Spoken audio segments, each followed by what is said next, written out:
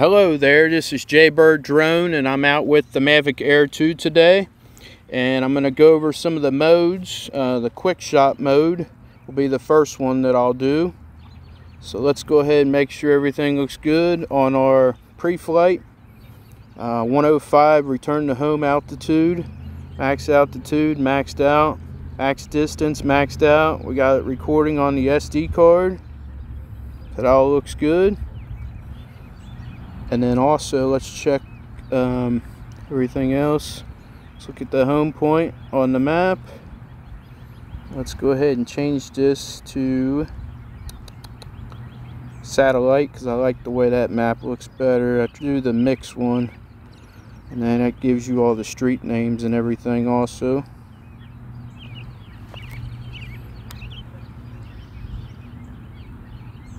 Just waiting on that to load and there we go Okay, we got 18 satellites, 100% battery. Got the uh, cameras on auto exposure. Make sure everything else looks good. We got obstacle avoidance on. Compass is normal. IMU is normal. So that all looks good.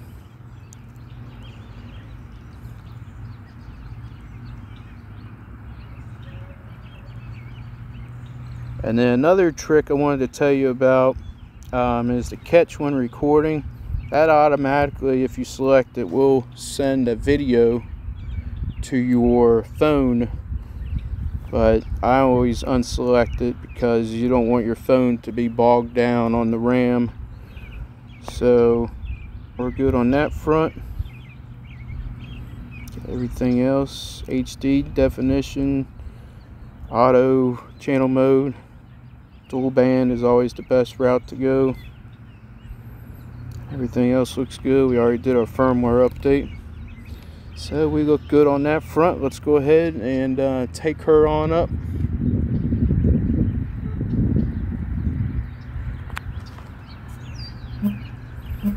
My advice is to always let it hover over your home point. So that sensor can sense the um, landing pad or whatever you use to do that. So that's the pad there. And we're going to tap the FN button because that's what I have it set on. Now we're going to go ahead and bring her on up. That beeping noise is the obstacle avoidance beeping. So let's go ahead and fly her out just a little bit. And then turn her around to me.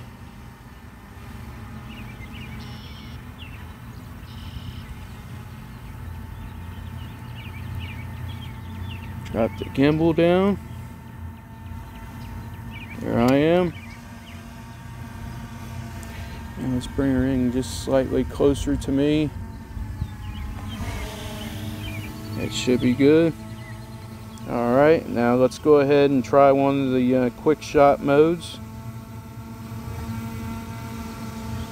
Okay, I'm just gonna do, let's try the 100 foot and you're going to select the plus on me to target. And then let's go ahead and do the start. Three two one. And it'll do the uh, Dronie which is pretty cool. It'll go out 100 feet. And then once it's completed its process it will return back to the start point There we go. It's coming back now. Just want to get in all the features to show you guys. Okay, now she's back. Let's try another one. Let's try the uh, rocket. And let's try, eh, let's go up a little bit higher. Let's try 200 feet on that one. Select the plus sign. It's got me. Now let's go ahead and hit start. Two, one. And this will just go right over the top of me like a rocket. And then it will revert back down. Up, oh, we got our um, ADSB coming up. Manned aircraft approaching. Fly at a safe altitude. Yep, there it is, folks. That's telling me there's a uh, aircraft coming almost right at us. So let's make sure we um, we're only going up 200 feet, and then I'll, it'll come back down. But that's the first time ADSB is kicked in, and I see the airplane actually coming our way. So she's coming back down now. That's really cool, folks. Go ahead and um, stop that. And I want to show you guys the uh, airplane in the uh, footage. Let's bring that camera gimbal all the way up. And that was right on the money, folks. That's really cool. You can see the airplane right there in the center of the screen. So ADSB is right on the money. That's really cool. I'm glad I was able to show you guys. And there goes the plane. Now it is out of our airspace. So let's go ahead and uh, bring her back down and try a different uh, quick shot. That's really cool, folks. Glad I was able to share that with you. It works pretty well for me anyway. So let's try another function. Let's try the uh, circle. And then I'm going to select the plus because I'm the target I want it to target around. And then it will do, you can pick either clockwise or counter counterclockwise. Let's do counterclockwise. Three. I'm going to hit two, the plus. One. and this one will just circle around me and it will already um, select the altitude that you have on the um, on the height when you set the function. And it will do a full circle and it will come back to its start point and it will stop on its own which I like. Okay we're back. Now let's try something else. Let's try the uh, the helix. Just going to do, yeah, let's do 100 feet for the helix.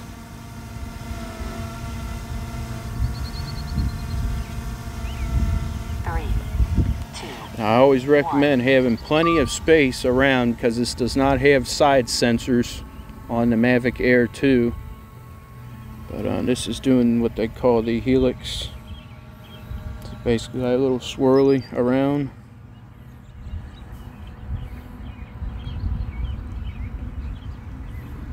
I'm glad I was able to show you guys that function because I think that's really cool.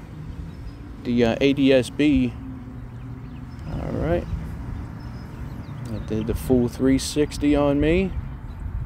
And then that should come back to us.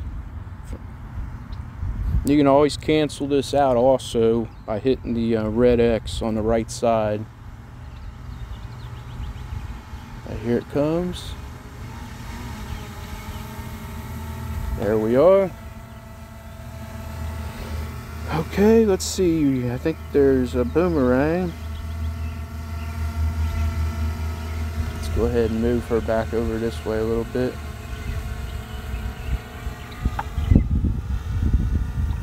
Okay, let's try the uh, boomerang. See how that does.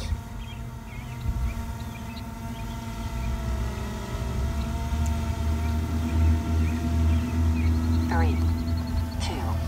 One.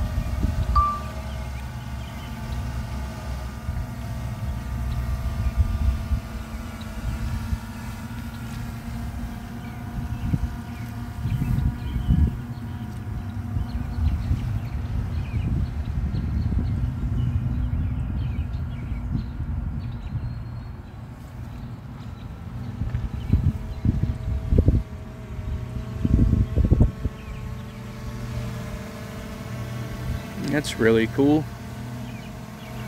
And we're back.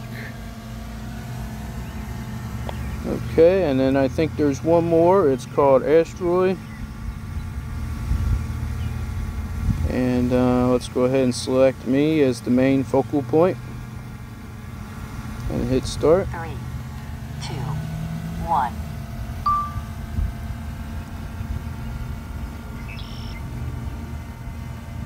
And if you're not a subscriber to my channel, go ahead and hit subscribe and hit all notifications. And I will keep you up to date on the latest and greatest new drones. And uh, we don't have to tell you that you're appreciated on my channel. Um, you already know you are and you're like family. So go ahead and join the family, folks. We're all important and we don't have to tell people we're important. Okay, I hear another airplane. Let's see. Oh, there it goes. I think that's on the other side of us because I'm not seeing that. Okay, this is kind of a cool looking um, function on the the um, gimbal. And a quick shot. Now it's coming back.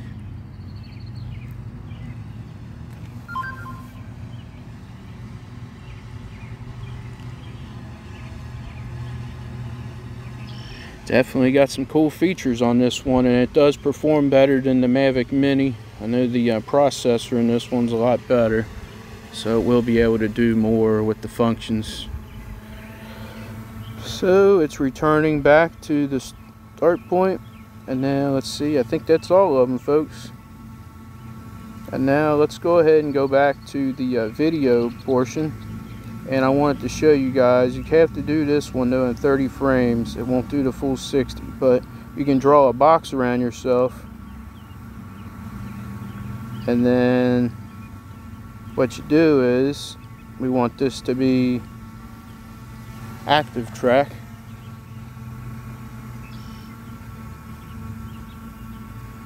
So we're going to do trace because it doesn't have any side sensors. And this will follow me and then all you gotta do is hit the stop in the middle if you want to stop the uh, follow me mode. But it's definitely right behind me. She's following me.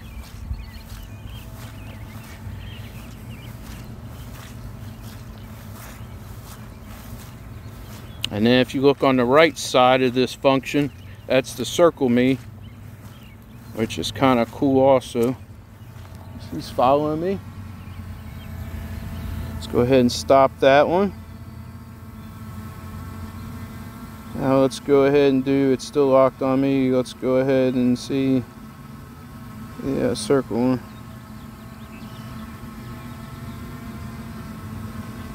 And you can select the speed on it and then hit go. I got it on medium speed. She's just gonna circle around me. And you can also do this um, the opposite direction too. I'm just showing you guys real quick. But yeah. That's all she does and she'll keep doing that until you hit stop. That's pretty cool folks. We can try the parallel on it. Let's see.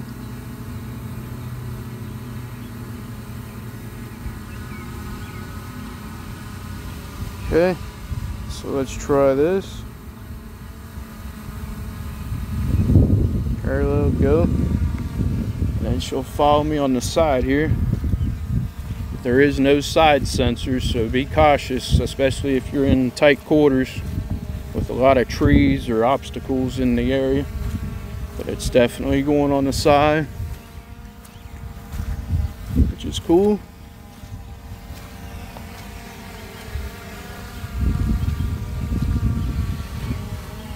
Go ahead and stop that.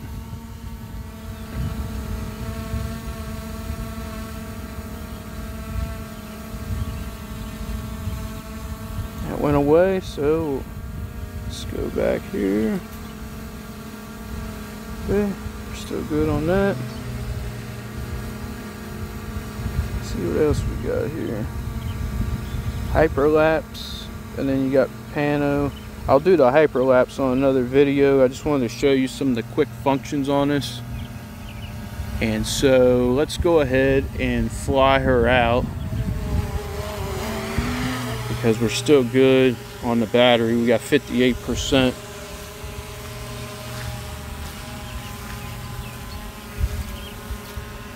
In fact, let's go ahead and try the uh, obstacle avoidance. I still have it on normal mode. When you turn it on um, sport mode, it disables the obstacle avoidance. Let's go ahead and see if I can get a good shot on here. Let's fly her at the caddy and see how she does and slow her down just a little bit. Kind of off in the distance, but I think she's pretty close. See how well she gets.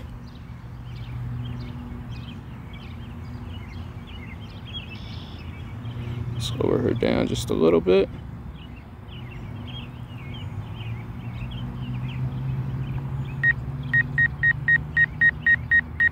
And it will not. Up, and there it goes. It's going right above the caddy.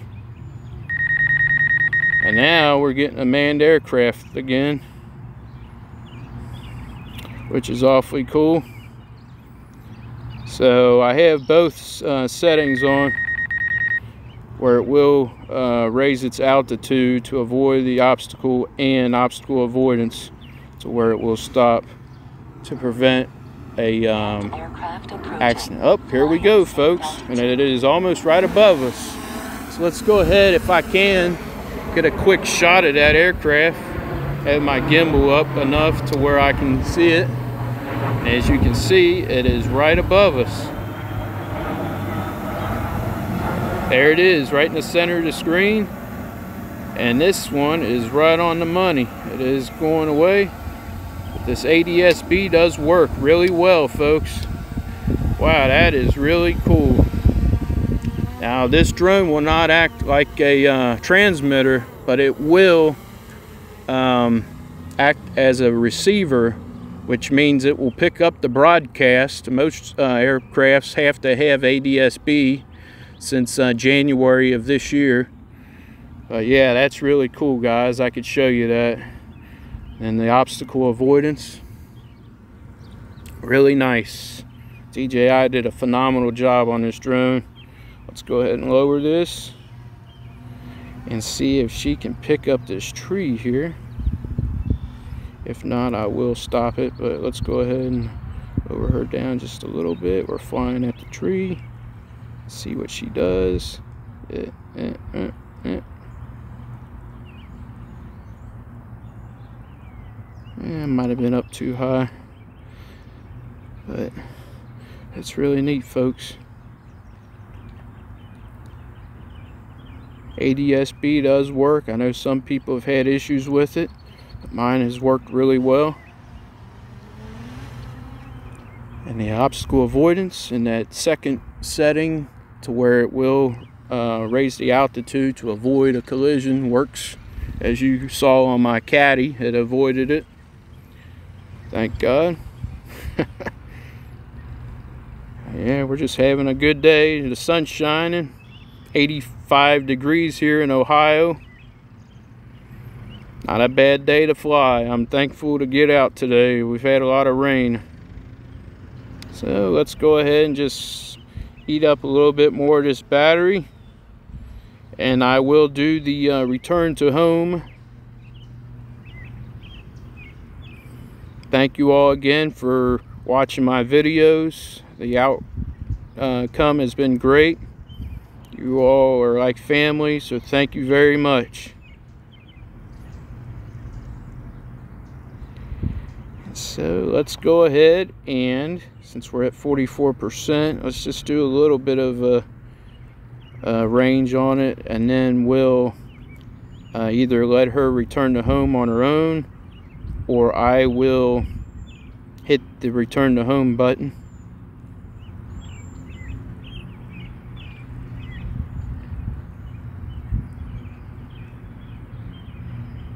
And I'm just doing a phone recorder on this so that will definitely improve your uh, battery life as well because you're not recording. But I think the phone recorder does a nice job. I use my Samsung pre-installed phone recorder because I find that that is the best recorder for this app. Plus it also helps that my phone has 8 gigabytes of RAM which is huge to help support the application. So we're just out here. And uh, let's go ahead and hit the uh, return to home. See how close we can get her to the landing pad. So we did let her hover just a bit.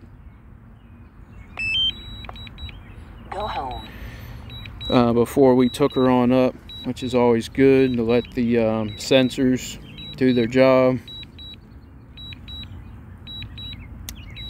not a bad little flight today. I was glad I was able to show you the quick shot uh, functions and ADS-B in action.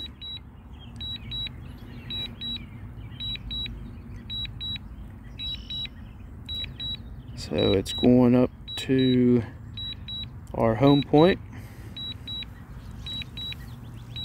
We're still good on the battery but I'm just bringing her on back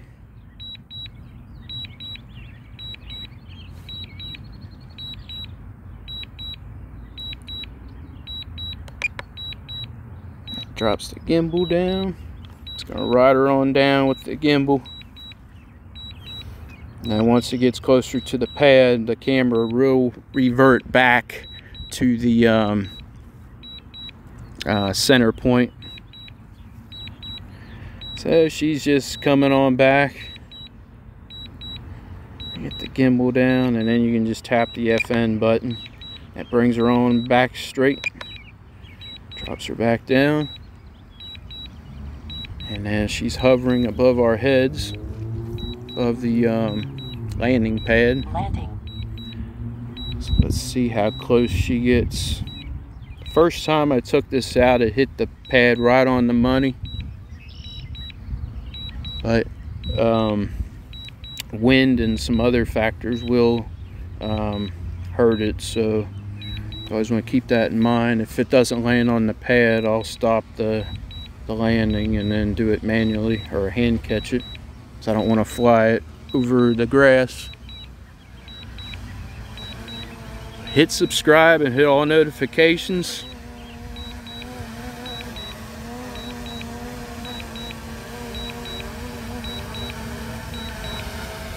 Uh, we're not a big channel trying to make money but we're trying to help people and show people all the new features of these drones. So up here it goes